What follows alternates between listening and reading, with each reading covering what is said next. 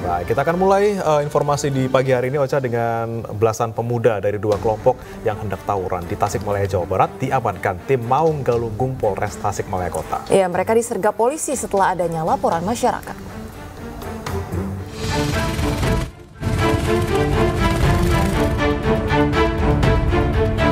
Belasan remaja yang diduga berasal dari kelompok geng motor berhasil diamankan tim Maung Galunggung Polres Tasikmalaya Kota. Mereka diamankan di Jalan Bumi Resik Panglayungan, Kelurahan Panglayungan, Kecamatan Cipedes, Kota Tasikmalaya, Jawa Barat. Mereka diamankan setelah adanya laporan dari masyarakat karena aksi geng motor ini kerap membuat masyarakat resah dan diduga mereka akan melakukan tawuran dengan kelompok lainnya.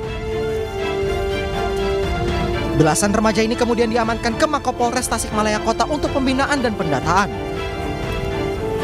Terima laporan dari masyarakat bahwa di BRP eh, ada keributan.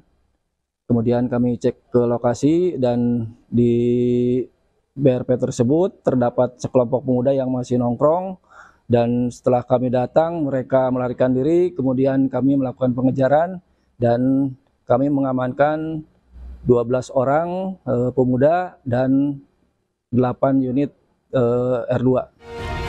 Selain mengamankan belasan remaja, polisi juga mengamankan sejumlah kendaraan roda dua yang tidak dilengkapi surat-surat. Dari Tasikmalaya, Jawa Barat, Asep Joharyono, iNews melaporkan.